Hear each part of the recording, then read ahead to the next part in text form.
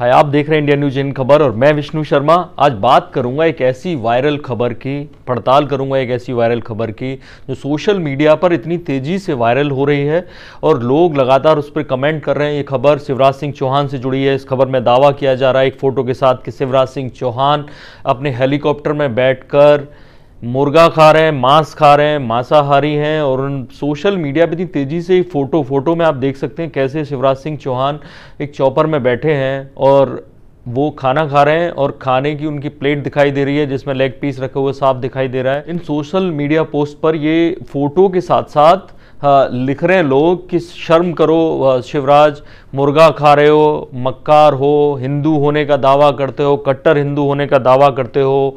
तमाम सारी ये ट्विटर पे भी फेसबुक पे भी और तमाम सारे फेसबुक ग्रुप्स में जो अलग अलग बने हुए हैं उनमें सब पे ये दावा किया जा रहा है। कोई कमेंट भी सटायर भी हो रहा है कि शिवराज का ये मुर्गा शाकाहारी है, मामा छुप छुप के मांस खाते हो। इस तरह की तमाम बातें की जा रही हैं। ऐसे में ज़ाहिर है जो भाजपा का कट्टर कार्यकर्ता है, उस पर जवाब देते नहीं बन रहा है और उसमें ज़्यादातर हिंदूवादी हैं।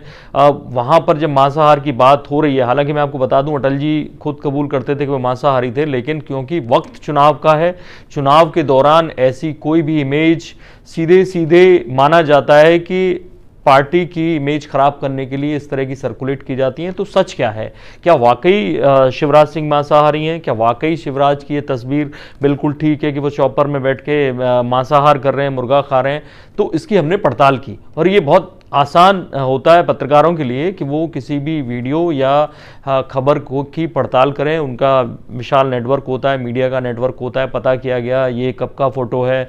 तो पता चला आप भी वैसे चेक कर सकते हैं बड़ी आसानी से गूगल में अगर डालेंगे कि शिवराज चौपर फ़ूड तो आ, आराम से आपको कुछ खबरें मिलेंगी। ये खबरें तेईस नवंबर की हैं। तेईस नवंबर का ये तस्वीर ट्रिब्यून में छपी बिज़नेस टुडे में छपी बिज़नेस स्टैंडर्ड में छपी। ये खबर छपी जिसमें इस खबर में बताया गया कि कैसे शिवराज अपने अपने चुनावी दौरे से थोड़ा सा समय पाकर अपने चौपर में खाना खा रहे हैं। और उस खाने में जो तस्वीर दी हुई है, आपको ऊपर से लगेगा ये वही तस्वीर है, लेकिन गौर से देखेंगे तो पाएँगे कि इसी तस्वीर में जो शिवराज सिंह के सामने प्लेट रखी हुई है उन जहाँ पर मीट दिखाया गया है, वहाँ पर सब्ज़ियाँ रखी हुई हैं, और उसमें लिखा भी हुआ है कि शिवराज वेज खाना खा रहे हैं। और कैसे इन खबरों में और एक अब इस खबर का स्रोत पता गया कि तीनों जगह एक जैसी खबर छपी और भी अखबारों में छपी होगी, हिंदी के अखबारों में भी छपी होगी। तो ये खबर पीटीआई ने डाली है, कोई मनीष श्रीवास्तव उनके रिपोर्टर हैं, शायद फ़ोटो भी उन्होंने लिया हो।